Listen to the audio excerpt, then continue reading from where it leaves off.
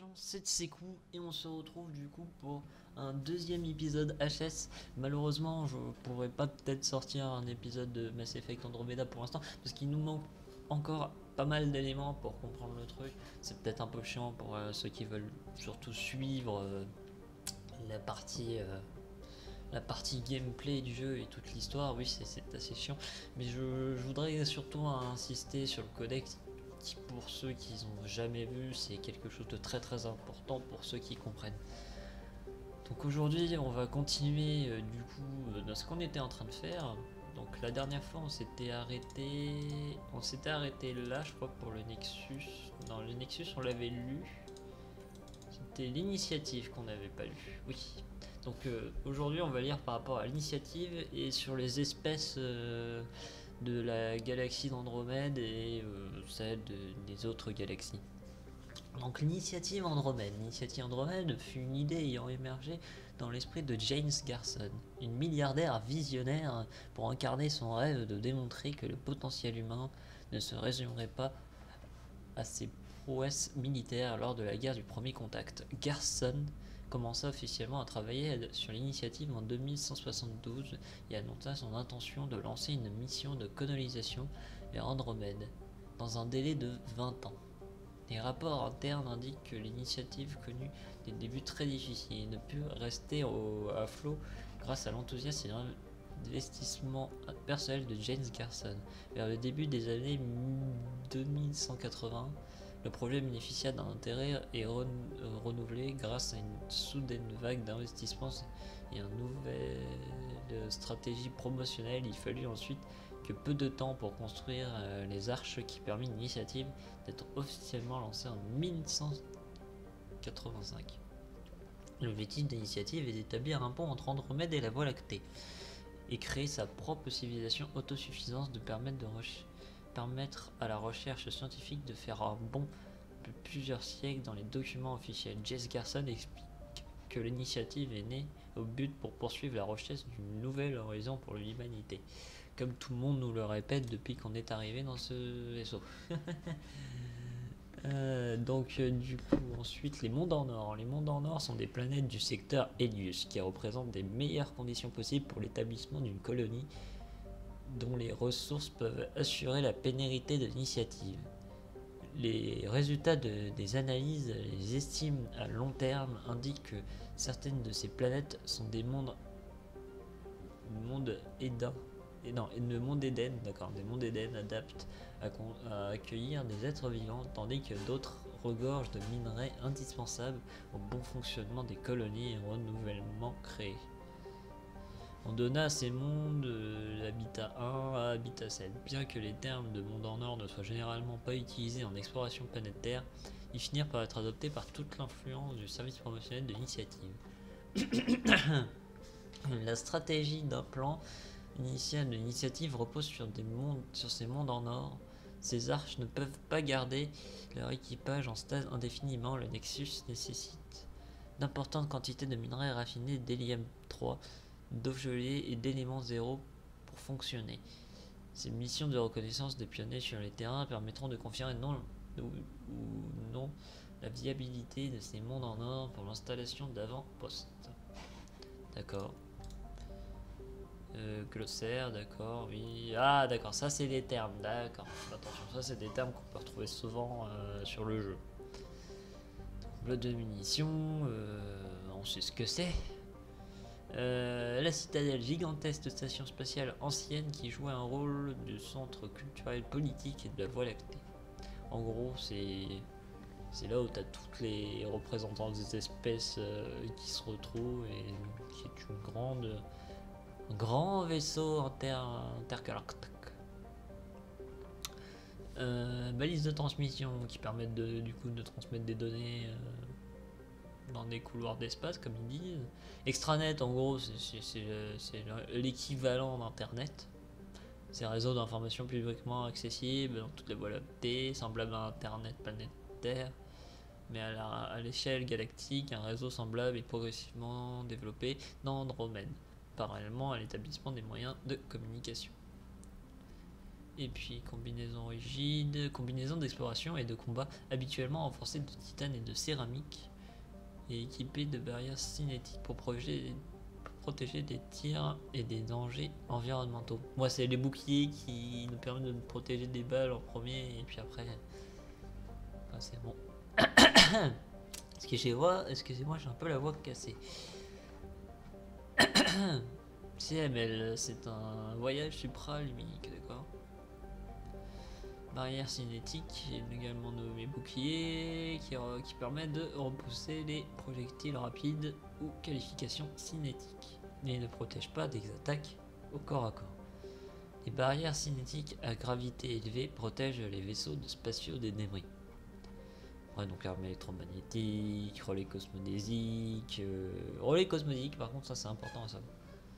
C'est un réseau de transport à la voie euh, lactée utilisé pour envoyer instantanément des vaisseaux à des centaines d'années-lumière. Ce type de réseau n'existe pas dans Andromède et c'est pour ça qu'il faudra l'installer, à mon avis, ou ils vont en construire un. Ou le Nexus, je pense, peut en servir d'un.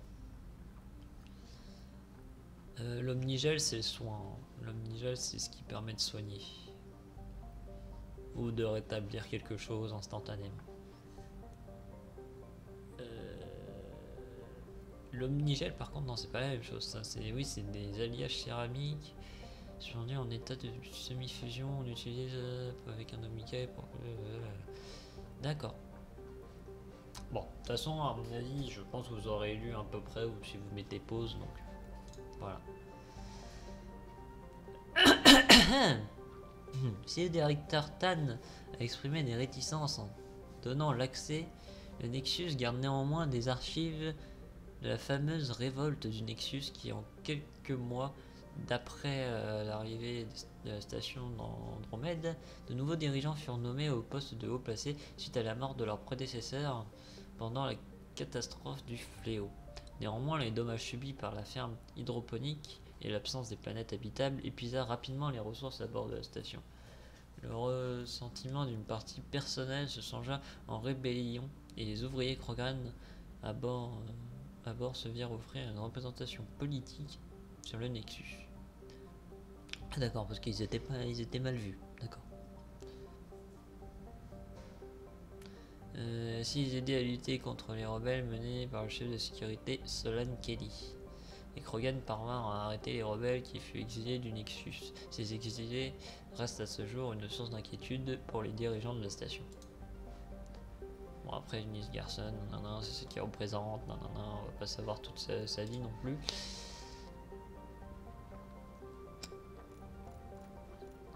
Ok. Après je pense que c'est pas très important à savoir. D'accord. Donc, les espèces de l'arche, ça c'est très important parce que c'est des espèces qui sont apparues sur tous les jeux. Euh, donc, Sari, donc l'espèce un peu forme euh, féminine et la plupart du temps les joueurs aiment bien. Il y a les humains comme moi. On a les Krogan, les, les.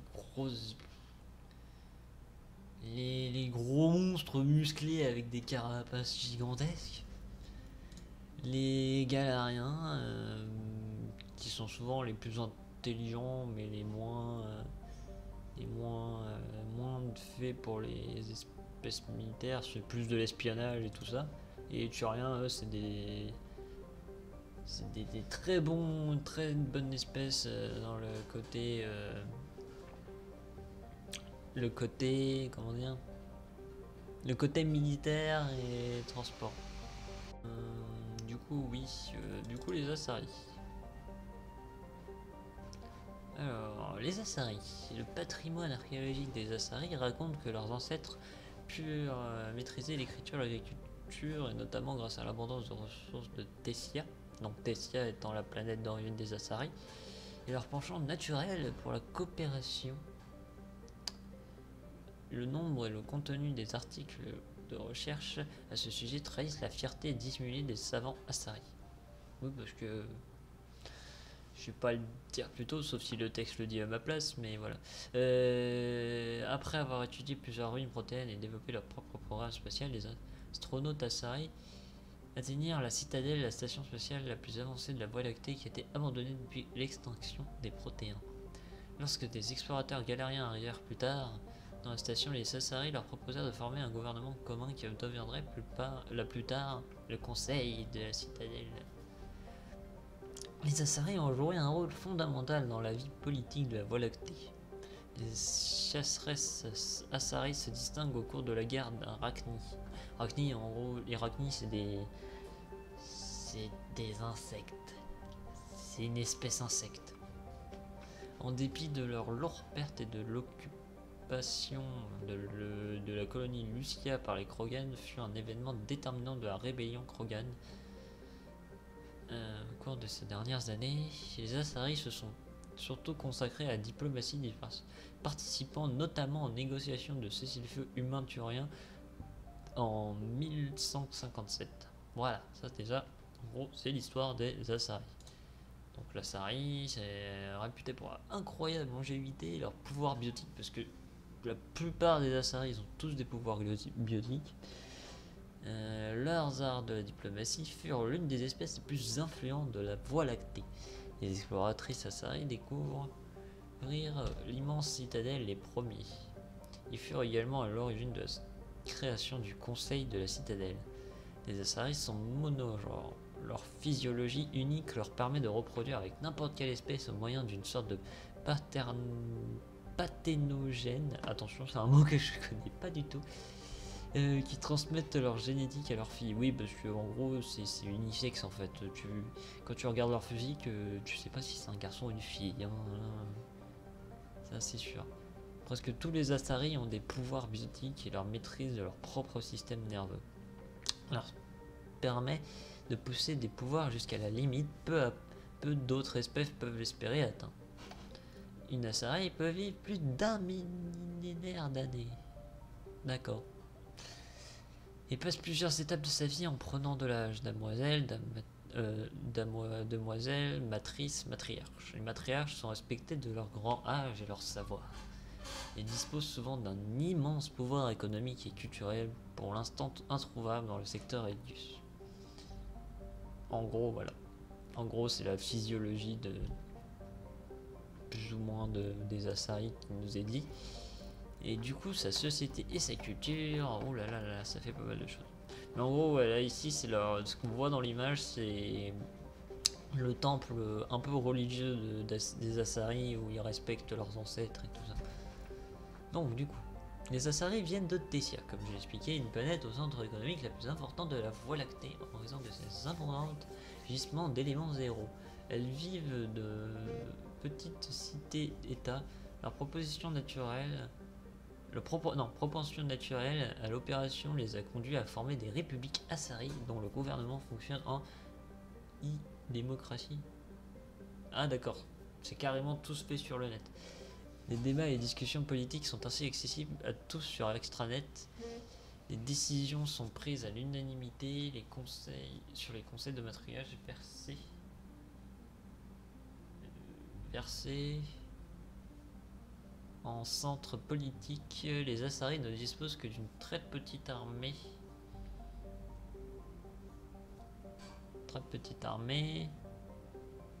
Oui, je me suis perdu, merde. Et ce qui la rend moins redoutable de petites unités euh, guerrières d'élite volontaire et les chasseresses se ch- chargent de faire régner l'ordre dans l'espace Asari? Ces chasseresses ont été parmi les premières à rejoindre les rangs des spectres du conseil, parce que du coup les spectres c'est des soldats d'élite de la citadelle. Heureux les gens, excusez-moi, j'ai dû couper. Donc euh, du coup, alors la durée millénaire euh, des Asari leur permet d'appréhender les événements sur euh, le long terme, leurs investissements, leurs programmes sociaux, leurs politiques environnementaux privilégient les résultats sur la durée, ceux sur le court terme. Cette approche du temps qui a incité de nombreux Asari à s'embarquer pour l'initiative Andromède, le voyage à plusieurs siècles ne les effrayant outre mesure. D'accord. Euh, ouais. Bien qu'elle apparaisse sous les traits féminins, la majorité d'autres espèces, les Asari, sont monogenres, comme on vous a dit. Leur processus de reproduction se se transmettent à leurs filles deux exemplaires de leur code génétique. Une sorte de part pathénogène. euh, ouais. En gros, ils ont un système de, de reproduction très avancé. C'est surtout ça en fait qui veut, qui veut dire, c'est qu'en fait, euh, c'est même pas genre ils font, font l'amour dans le lit, c'est ils se transmettent par données de, de, de, de- leur cerveau euh, à l'autre corps pour que l'enfant naisse. Comme ils disent là, la fusion acérine, c'est qu'ils s'harmonisent entre le système nerveux euh, de l'un et de l'autre pour qu'ils créent un seul et unique système nerveux.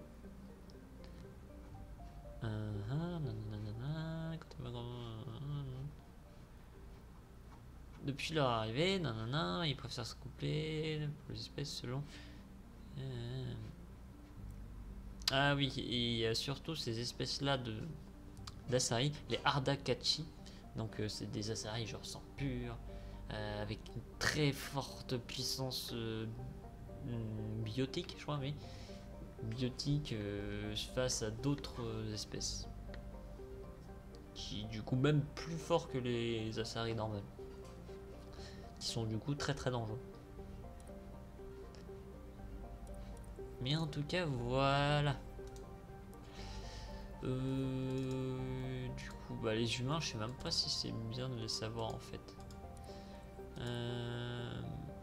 Au pire, on va s'arrêter là pour l'instant. Et puis, euh, je pense que là, parce que là, franchement, j'ai pas beaucoup de temps en ce moment pour tourner un certain épisode. Mais je vais essayer de m'avancer euh, pour le coup. Euh, pour les prochains, comme ça, vous en aurez assez souvent. Et puis, au moins, j'éviterai d'être trop en retard. Mais pour cette fois-ci, je vais essayer, j'ai essayé de faire mon plus vite que possible. Du coup, la prochaine fois, on abordera du coup les quatre dernières espèces. L'espèce d'Andromède. Et ça sera tout, je pense, parce qu'après, les planètes et tout ça, c'est pas. Je pense pas que ça va nous changer grand chose de pas les savoir. Mais en tout cas, voilà. En tout cas, j'espère que vous aurez apprécié l'épisode et puis euh, j'espère que j'espère que cela vous aura aidé. Et ben, on se retrouve pour euh, pour le prochain et surtout pour le troisième épisode. Allez, je vous dis à la prochaine. Zou.